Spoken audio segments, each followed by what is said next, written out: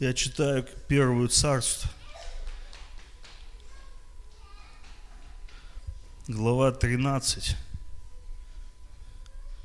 Ситуация следующая. Израиль оккупирован филистимлянами. То есть им дают там жить, все, никто их не угоняет в плен, как Вавилон. Но они под оккупацией. Им запрещено иметь свою армию. И вот здесь э, хитрые, умные филистимляне поступили следующим образом. Смотрите, стих 19. В стране израильтян тогда не было ни одного кузнеца, потому что филистимляне опасались, как бы евреи не сделали себе мечи и копья. Поэтому что сделали с кузнецами? Ну вот если они были, а потом их не стало, истребили их. Чтобы кузнецов не было, чтобы никого, никто не мог научить никого кузнечному делу. Потому что будут кузнецы, появятся мечи и копья. Нет кузнецов, простой человек не способен изготовить меч. Все израильтяне должны были ходить к филистимлянам, чтобы затачивать свои сошники, мотыги, топоры, серпы, ну и так далее, всю сельскохозяйственную вот железную э, утварь. Стоило это по две трети шекеля и так далее. Поэтому, когда началась война у людей Саула и Анафана, не оказалось мечей и копий. Только у Саула и Анафана были мечи. Знаете эту историю прекрасно. И вот открывается больше, больше, чем раньше.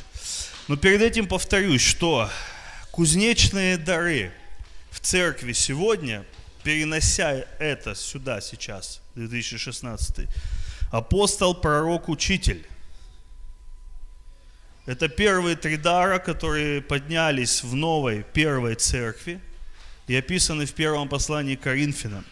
Через пять лет в послании Ефесянам появляется еще евангелист и пастор, которых не было, ну так скажем, не было пять лет назад – Вначале был апостол, пророк, учитель. Если взять так вот образно, чтобы мы приблизительно поняли смысл каждого дара. Вот меч. Изготовление меча начинается с того, что нужно добыть руду. То есть где-то в каменоломнях в земле мужики то есть, работают добывают эту руду, ее надо плавить. Опять же, это все тяжелая работа. Выплавить этот металл, сталь, с которого потом уже кузнецы выковывают мечи. То есть, вот меч. Но меч же это не железяка, ему нужна рукоять. Из чего делали рукоять? Дерево, кожа. То есть, и ему нужны ножны. Кожа. Ножны делались ну, в то время из такого кожаного материала, может быть, иногда из, де- из дерева. И люди, которые занимались этим, это тоже была их профессия. Как их называли? Кожевники. То есть это тоже была целая, целая ремесленническая такая вот тема. И когда тебе нужны ножны или нужна рукоять, обращались там, выточи сделай вот такие масштабы. Так вот, я верю, что дар пастора, он где-то связан вот с ножнами, с изготовлением кожаных изделий. Но апостол, пророк и учитель в большей мере это вот эти вот, те, кто добывают руду, плавят ее и выковывают. То есть более грубая такая работа. И вот этих людей истребили. Истребили. Соответственно, да, с кожаными мечами не навоюешь ничего. Поэтому шейте эти ботинки и жилетки. Это хитрый, это правильный, это умный шаг со стороны врага.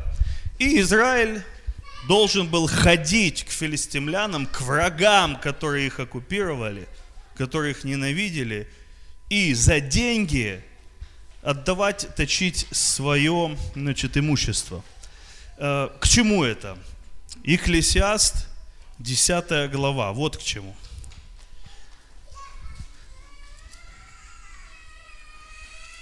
Екклесиаст, 10 глава,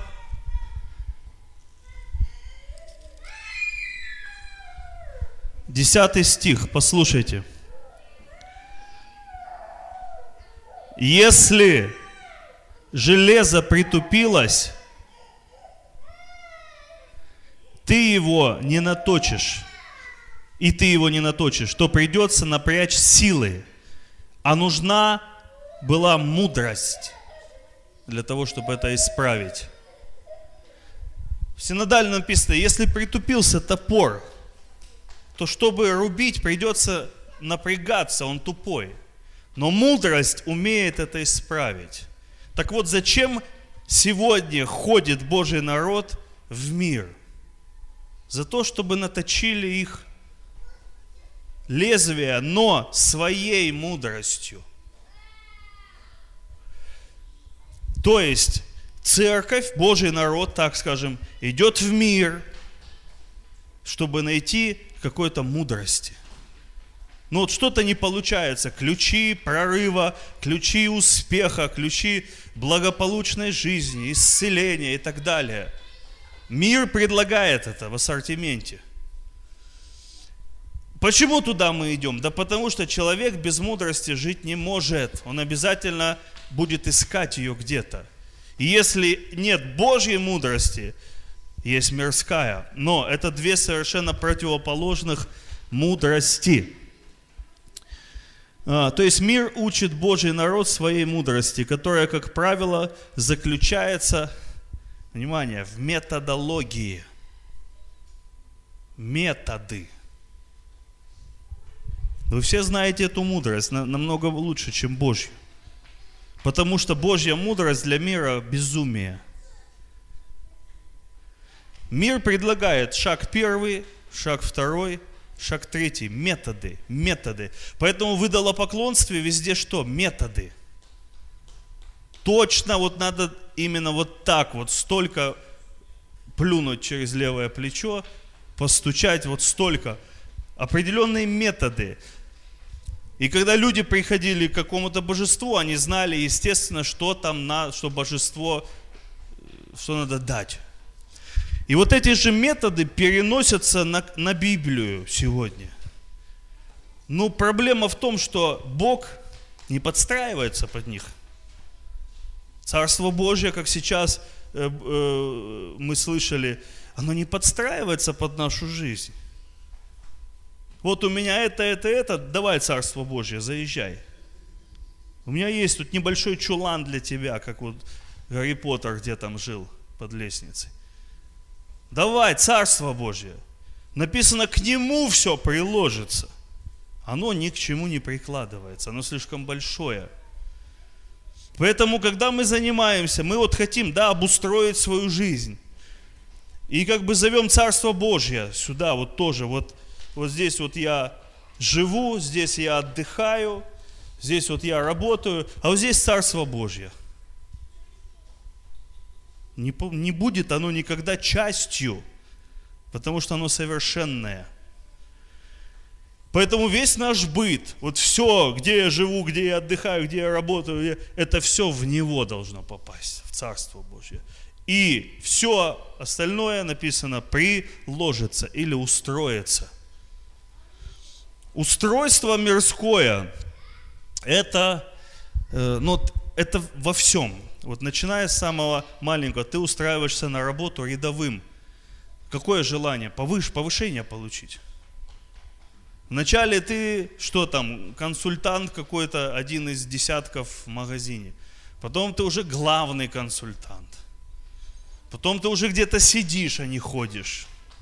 Соответственно, растет заработная плата. Потом ты какой-то менеджер, начальник какого-нибудь, региональный становишься, и вот как бы куда-то наверх продвигаться. Этому учит мирская мудрость. Но Божья мудрость, она безумная для мира.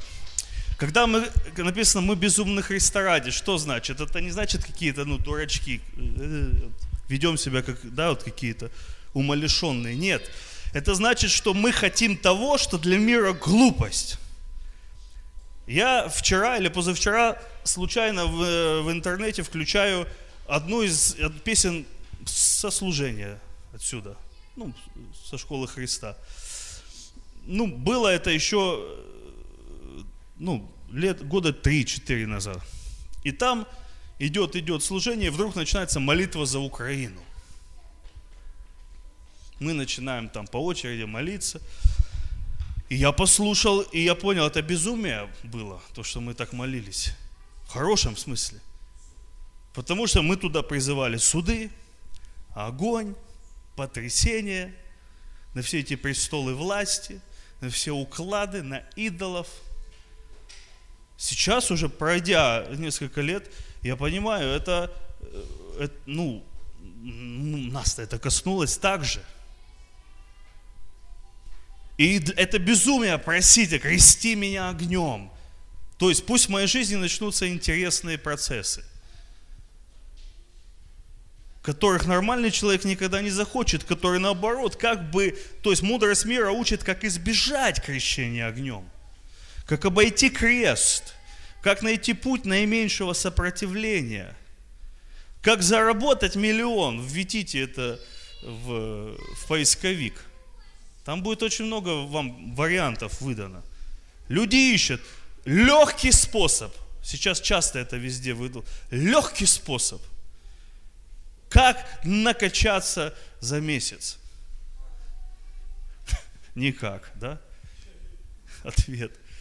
Но люди ищут этого. И мир предлагает вот такие вот, э, э, такую мудрость. Но даже если мы ухватим эту мудрость мирскую, научимся, пойдем там где-нибудь на курсы, и пойдем, и у нас реально начнет нам вести, опа, деньги пошли, выздоровел ты там от чего-то, сменил машину, такой довольный, то туда это не, никогда, э, там это не будет никогда угодным. Потому что мудрость земная – это противление Божьей воли. А что если воля Божья, вот, э, чтобы ты там на Жигулях поездил еще? Да? А ты куда-то их все время хочешь избавиться поскорее. И вот ты уже там на Мерседесе, думаешь, что-то пусто, пусто как-то вот здесь. Чем-то надо заполнять. Пойду к филистимлянам. Пусть наточат. Наточат. И они натачивают, но это натачивание не служит никогда Царству Божьему. Истребление апостолов, пророков и учителей. Ну, попали мы, вот попали мы жить во время, когда, ну, нет апостолов, пророков и учителей. Если вы уверовали в 90-е годы, я помню, как это начиналось, и когда появлялись пророки – пророки. То есть они-то есть. И вот он, я пророк, Вася. Ну интересно, что ты хочешь? Хочу по пророчеству. Не, не надо. Попробуй только. Так, Васю не пускать. Вы не хотите пророческой школы, как Дима приехал Крюковский и к отцу моему подходит. Говорит, а вы не хотите, чтобы я у вас пророческую школу провел? И отец мой говорит, говорит, во уже, во, хватит. Нам пророческих школ. Потому что у нас просто была уже пророческая школа к тому времени одна. Мы очень долго расхлебывали последствия. И церковь сейчас, она... Э, пророк... А что ты будешь пророчествовать? Но я не знаю, что Бог даст. Не, не надо такое. Что он тебе там даст? Апостол, апостол. Так вот, Мудрость-то все равно нужна Божьему народу, правильно? Мы ее где-то будем все равно черпать, где-то будем вкушать ее. Не может человек без мудрости жить. Это как компьютер без программного обеспечения. Он бессмысленный, он мертвый. Когда вы покупаете компьютер без Windows, знаете, включил черный экран, ничего нет, я не понял, где. Надо поставить программное обеспечение. Вот это и есть мудрость. Кстати, как сказал Женя Аноун, в Библии нету какой-то отдельной премудрости и мудрости. Это уже перевели в синодальном переводе. Есть одно слово «мудрость». Ну, просто Божью мудрость перевели как премудрость, превосходная. Ну, чтобы мы не, не ошиблись уже. То есть это, как она, хохма, да? По-еврейски, хохма, мудрость. Хохма.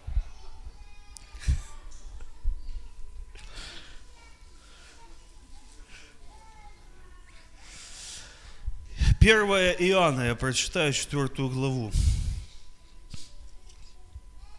Первое послание Иоанна. Иоанн много чего знал интересного. Он говорил, любимые, не всякому духу верьте, но подвергайте духов испытанию, от Бога ли они, это как, это как, это как. Этому учат пророки – а не пастора. Значит, в мир уже ушло много лжепророков. Вот как вы узнаете, что Дух от Бога. Всякий Дух, который признает, что Иисус Христос пришел облеченным в плоть от Бога, а всякий Дух, который не признает Иисуса, не от Бога, но от Антихриста, о котором вы слышали, что Он должен прийти. И вот Он уже в мире. Вы, детки, от Бога. Вы, детки, от Бога. И победили их – Потому что тот, кто у вас, больше того, кто в мире. Они от мира. И поэтому говорят на языке, на котором говорит мир. И мир их слушает. В нас есть мир еще? Есть. Есть. И вот мир в нас, он очень любит мирскую мудрость. Эм, Ради испытания, я просто на себе проверил. Возьмите какой-нибудь, скачайте, ну вот есть очень много, даже не скачайте, в интернете можно найти всякие мотивационные программы.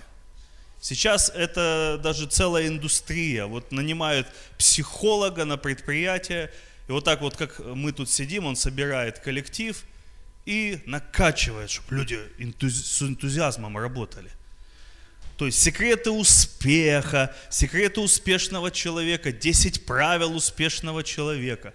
И если вы откроете эти 10 правил, ну я образно говорю, вы найдете много, что понравится чему-то в, в вас. И я помню, когда я скачал на телефон, и я сидел, э, вот это произошло в аэропорту, ждал там, и думаю, время есть, почитаю.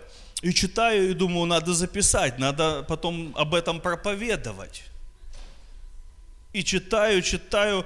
То есть такие вот правильная мудрость, она, она очень отзывалась внутри. Очень, точно, точно, да, вот так. И вдруг Дух Святой обличил, говорит, это мирская мудрость. Эта мудрость никогда не будет служить Богу. Она прославляет тебя, она прославляет твою силу. Она, она направлена на то, чтобы ты ходил самодовольный и самодостаточный чтобы все на тебя смотрели и говорили, вау, я тоже так хочу. И я удалил сразу эту программу, я сел, слушай, действительно, прославляется эгоизм, прославляются мои похоти, мои амбиции. Кто-то сказал, мои амбиции, мои амбиции. Один проповедник вчера сказ, недавно сказал такое. Говорит, я свои амбиции защищаю – и я думаю, что действительно наши амбиции им на крест пора, нашим амбициям. А Божья премудрость, вот она здесь описана у Божьих людей. Она какая-то другая. Они говорят, унижающий себя возвышен будет. Уже непривлекательно сразу. Такой тема семинара, как унизиться. как унизиться пониже. Мало придет людей, мне кажется. Такой провальный семинар. Унижай, да, будь всем слугой, да, будь всем слугой. Хочешь, будь всем слугой. Хочешь, да, быть выше, стань ниже. И так далее. Забирающий, дай еще рубашку, да, снимай, дай еще рубашку отдай. То есть очень много такой э, нелогичной мудрости. Ну почему она нам кажется нелогичной? По одной причине. Мы живем в атмосфере мирской мудрости, где сказали, вот это нормально. Все остальное ненормально. Но там все наоборот. Что высоко у людей мерзость. Послушайте, это не просто мерзость. Помните, когда мы смотрели это слово, это как, э, ну вот как отвратительно, на что даже смотреть не хочется, не то что трогать. И вот человек, исполненный мирской мудрости, и он что-то Богу предъявляет, типа, используй меня. Окей, но мне придется все разрушить, на что ты надеялся. Апостол Павел, он сказал четко, что Богу пришлось все обратить в ссор. Помните, все ради Христа, я все, что было у меня, для меня высоким, я за ссор почитаю. Опять же, там написано за дерьмо, а не за какой не за ссор. Никто из нас не любит с дерьмом иметь дело. Никто. Даже когда ты влез куда-то, уже неприятно, не говоря то, что руками это трогать положи еще там в карман. И мы говорим, Господь, вот я пошли меня, давай от дерьма отмоемся. Как это? Это же принципы, они работают. Да, они работают. Вот в чем их э, коварство. Они работают, эти принципы. И можно разбогатеть. Можно. И можно стать успешным. Можно работу себе, какой-то бизнес начать. Можно основываясь на мирской мудрости, ведь она работает. Сколько олигархов сегодня? Но чистая она никогда не будет. Никогда. Но если даже нам удастся остаться чистенькими в этой мирской мудрости, самое главное, она не приспособлена. Это сено. Это сено, оно сгорит от Божьего присутствия. Господь, я тебе трон построил, но я только приду, он сгорит, куда мне сесть? Я дом тебе воздвиг, вот с кустов нарубил, поставил. Вот мы говорили, да, уже не раз, быстрый способ построить дом – это вот шалаш. Больше нет быстрых способов. Все остальное нужно время и это стоит. Мудрость, смотрите, мы читаем дальше. Мы же от Бога. И тот, кто знает Бога, нас слушает. А кто не от Бога, нас не слушает. Вот как мы можем узнать Духа истины и Духа заблуждения. Поэтому мудрость мира – это не что иное, как дух заблуждения, уводящий от Бога. Если дух истины приближает нас к Богу, то дух заблуждения уводит подальше от Бога. И когда, ну мы, ну мы можем, конечно, сказать, вот великий там человек достиг чего-то, там психолог, спортсмен какой-то, бизнесмен. Он же тоже использует правильные принципы. Если это мудрость начальства властей этого века, она уведет нас просто от Бога. Но не в пустое место – а к другому Богу. Иисус четко его обозначил. Мамона. В конце концов, все эти брожения приводят человека к поклонению мамоне. Мамона, э, одно, одно из переводов, обожествленная жадность. Обожествленная. Бог всемогущ. Конечно, Он может достать любого человека из любого идолопоклонства – но зачем тогда нам вот здесь все написано? Зачем Дух Святой послан? Чтобы нас, как головня с огня, оттуда спас Господь уже в последние дни. Любой человек, он по-любому будет искать мудрости. Нету кузнецов. Или их очень мало. Бог их поднимает сегодня, слава Богу. Проблема, знаете, что ну вот сейчас Крым, Украина, Россия, да, сложные отношения. Но есть люди предприимчивые, они на этом научились зарабатывать. Плевать им на патриотизм, бабки. О, мы патриоты! 100 долларов. Давай, прощай, прощай. То есть кто-то на этом... Поэтому, конечно, на сегодняшний день в самом Божьем народе уже провайдеры целые появились. Посредники между филистимлянами и народом Божьим. Давайте мы заточим вам ваши сошки. У нас самые лучшие точильни. Пойдемте. И вдруг появляется кто-то говорит, я кузнец, давай, не надо тебе говорить, этот мир ходить, давай я тебе сделаю бесплатно. Как вы думаете, провайдерам это выгодно? Ты что, бизнес под угрозой? Помните, они в Ефесе сказали, кто поднял бучу-то против апостолов? Торгаши. Торгаши. Но прикрывались они великими, вот, богиня, богиня. И, ну и наш бизнес придет в запустение. Не хотят люди покупать больше эти серебряные храмы, статуэточки наши, богинь. Поэтому, безусловно, э, было бы очень наивно думать, что прям с распростертыми объятиями народ Божий встретит кузнецов. Без мечей жить намного легче, я хочу сказать. Вот ты под оккупацией, под гнетом, под демоническим вот этим давлением ходишь, что там филистимляне? Все в порядке, все в порядке.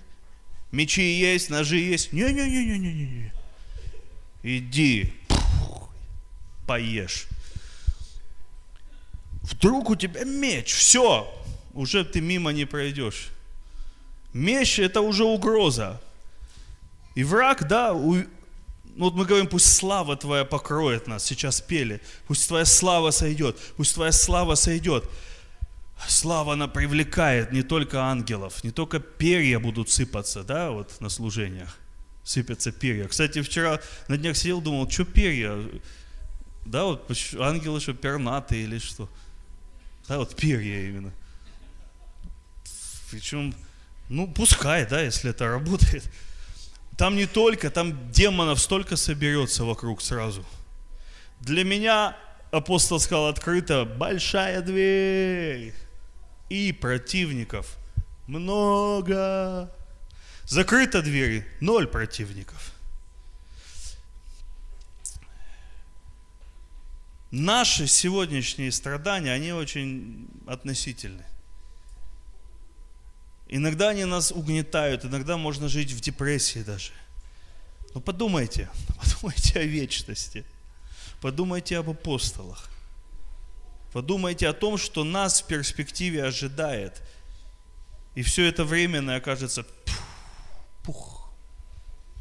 О, такая проблема. Где взять деньги? А что с ним? Он этого не видит? Ну, я не знаю. Может, ему надо что-то там. Он же не идол, которого задобрять надо, чтобы он что-то дал. Подожди, подожди, давайте вот так.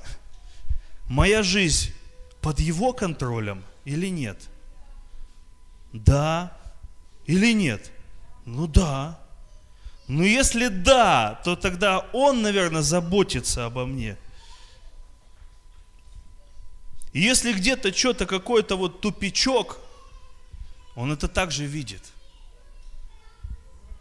он видит, он знает, да, нам нужны деньги, нам нужно исцеление. Это, это все нужно.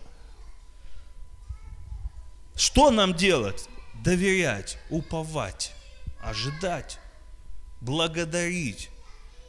Господь силен спасти меня от этой печи. Но если и не спасет, я все равно останусь Ему верным. Вот это и есть вера. а не вера, я буду спасен, я буду спасен, я буду спасен. Я исцелен, я исцелен, я исцелен. Да, я знаю, что Господь хочет, потому что Ишоу умер за мои болезни. Но если вдруг, почему-то, я не получил сегодня исцеления, я все равно остаюсь верным моему Богу и продолжаю верить, что Его имя Рафа, целитель. А что если? А что если? Он не банкомат. Так, я 10 шагов прошел, Господь, все, где мое исцеление? Все, здесь развязался, этих простил, этих отпустил. Это все, все открыл, все, посты, все. А вы получали иногда исцеление, не молясь за это? Да, вот что-то забыл даже уже, бац, ничего не болит, прошло. Может он так? Он все может. Да, он сказал, просите, и дано будет вам. Вот лежит перед тобой нужда. Допустим, счет какой-то нужно оплатить. Посмотрел по карманам, ничего. Господь, ты видишь, я просто уповаю на тебя. Каким-то образом мы пройдем это. Ну, мы же 20 лет уже здесь. Ну, каким-то образом-то мы, вспомните, было же и похуже. А будет еще похуже. Поэтому сейчас учимся уповать. Уповать. Он иногда специально оттягивает время, чтобы мы это время, вообще время, проведенное в уповании, оно меняет нас, меняет наше нутро. Когда ты день, два, неделю идешь в уповании, надежде, ожидании, меняется нутро. И потом, когда приходит ответ, приходит решение, ты уже другой, чем если бы это пришло мгновенно. Он работает с нами для вечности. Вот так вот. Хорошо, кузнецы.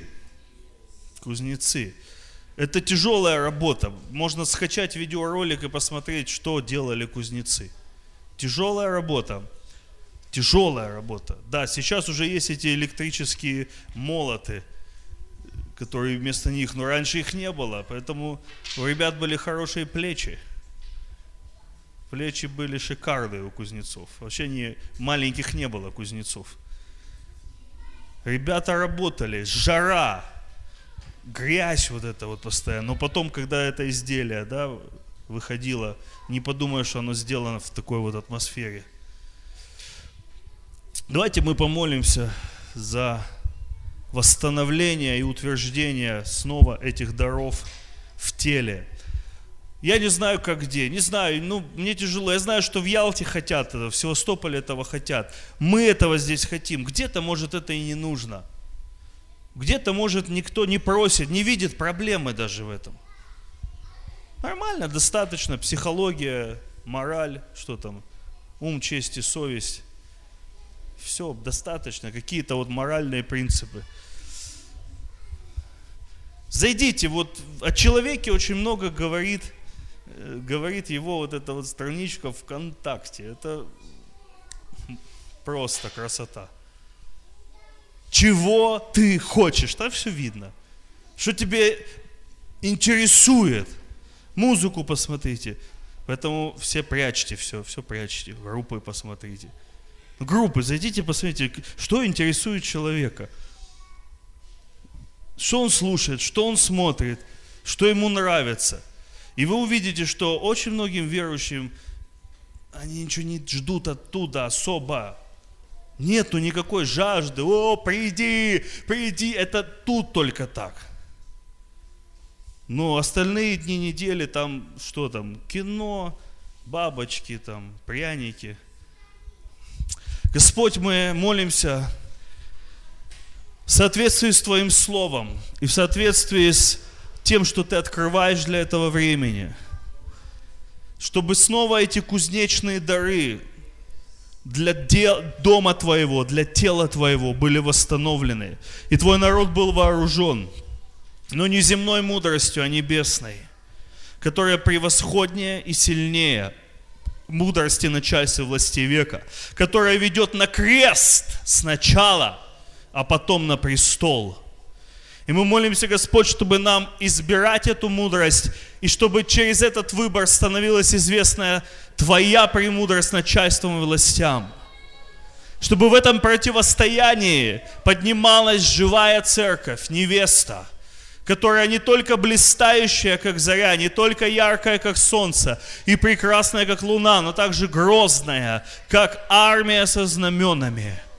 Закаленный воин, закаленный в битвах, тот, кто побеждал – тот, который даже терпя поражение вставал и побеждал, который не слился и не сдался, не стал просто планктоном в этом мире вместе со всеми остальными. Мы молимся и благословляем тех неудовлетворенных, которые сегодня ищут большего, которые не нашли покоя в этом Отечестве, в земном, и ищут небесного, ищут Божьего, ищут вечности. Мы молимся, Господь, чтобы никто из них не успокоился успокоился, пока не войдет вечное Царство Твое, чтобы никакие земные блага не смогли затмить эту вечную перспективу. Мы молимся, чтобы суета не смогла украсть Твоих драгоценных Божьих детей от великой награды, которую Ты приготовил для любящих Тебя в небесном Иерусалиме.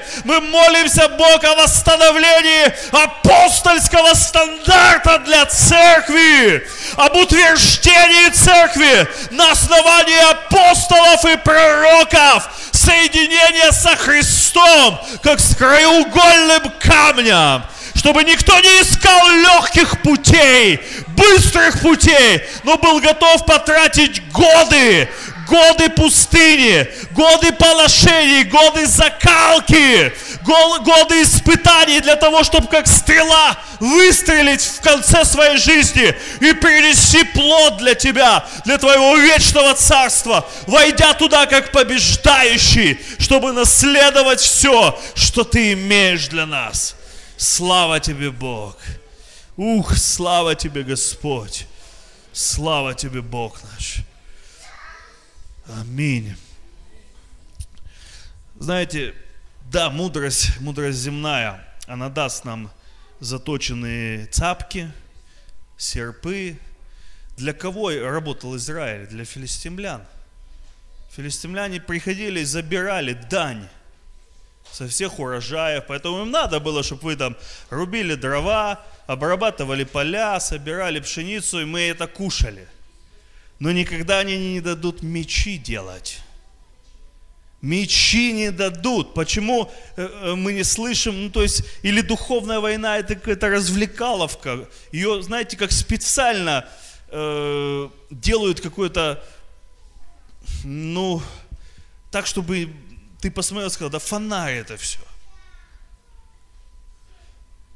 Потому что как только появляются мечи у Божьего народа, он уже тебе жатву не даст свою просто так взять. Он уже начнет думать, подожди, подожди. Вильям Волос, смотрели «Храброе сердце»? Пойдем навстречу, пойдем. И мечи под седло спрятали. Где-то там под крышей хранили, потому что англичане не разрешали иметь меч. Вооруженный человек – это потенциальная угроза. И в конце концов они свергли оккупацию Англии и завоевали свободу, когда никто не верил в это. Но нужно оружие. И только Божьи кузнецы дадут Божьему народу мечи и копья для войны и научат сражаться. Сейчас вот именно та ситуация, когда этого еще мало, и с этим еще можно бороться. Я имею в виду Божьи кузнецы, где-то какие-то очаги.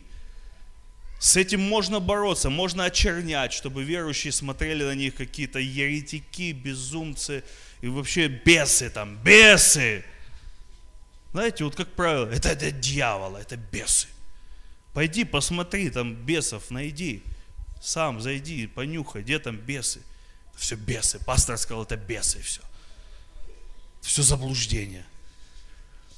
Это раз стратегия. Второе, бомбить, убивать. Как только враг узнает где-то кузнец, все силы бросить, за, зарубать. Этот один может вооружить десятерых. С одним легче справиться, чем с десятью. Вот так вот. Поэтому пусть поднимаются пророки, апостолы, учителя, и Божий народ учится, как Давид говорит, ты научаешь мои руки в брани, в войне. Ты научаешь. Его имя Саваоф.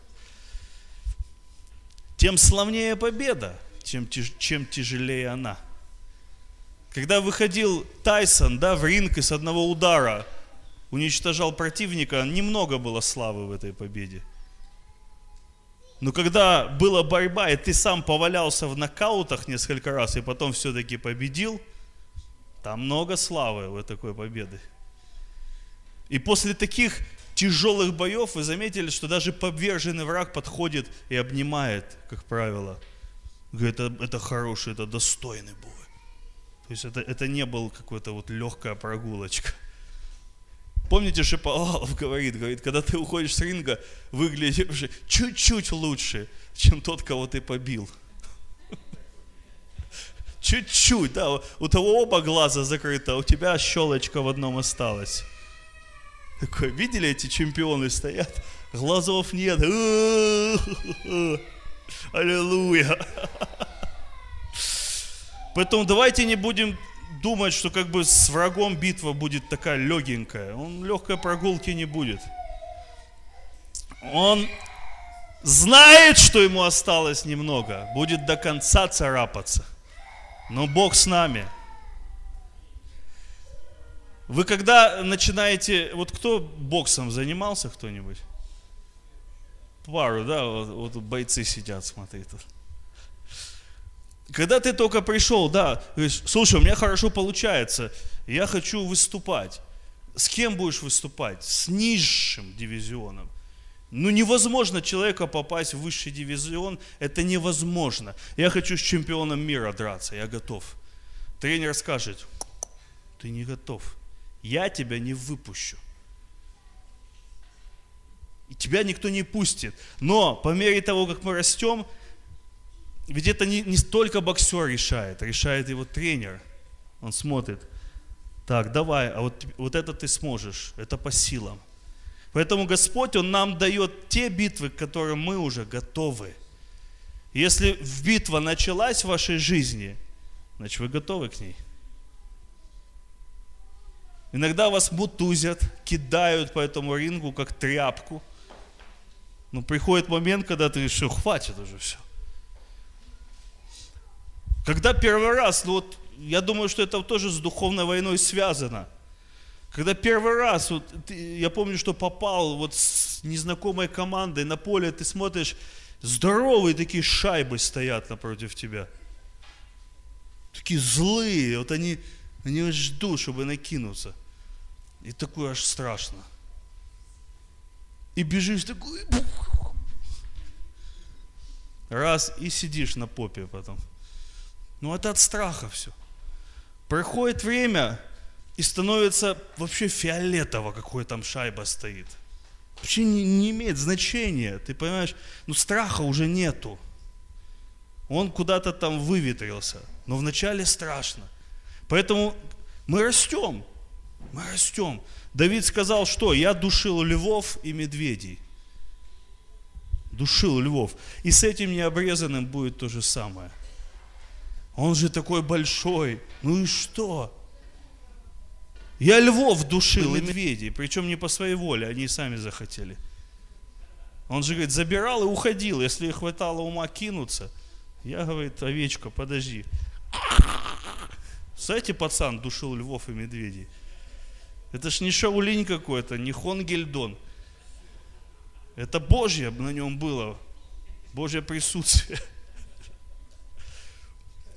Представляете, папа, а ну-ка, ну-ка, ангелы, смотри, Давид душит льва, смотри. Смотрим, смотрим, это мой. Это вот мой сынок. Давай! От опыта. От опыта. Ну, любой спорт. Да, мне кажется, шахматы даже. Выйдешь ты первый раз, коленки дрожат. На какой-то вот, ну, турнир. Тем более какие-то контактные боевые виды спорта. Я не забуду, когда вышел вот первый мой по карате турнир. И вот такой вышел, вот такой маленький вышел. И мне так страшно стало, он какой-то Брюс Ли, наверное, что он против меня большого вышел такой маленький. В кимоно, у меня кимоно еще не было. А он в кимоно такой, опа. И он на меня побежал, и я как с испуга его ударил, и все, закончил с собой. Я просто ногой его ударил от страха. А он оказался, ну, просто обычный человек. И раз, и бой закончился. Поэтому, а потом, конечно, уже не страшно, когда с большими повалялся дядьками, ну, я имею в виду, на ринге, уже потом думаешь, ладно, здесь уже мастерство начинает работать и техника, а не везение. Давайте. Что там?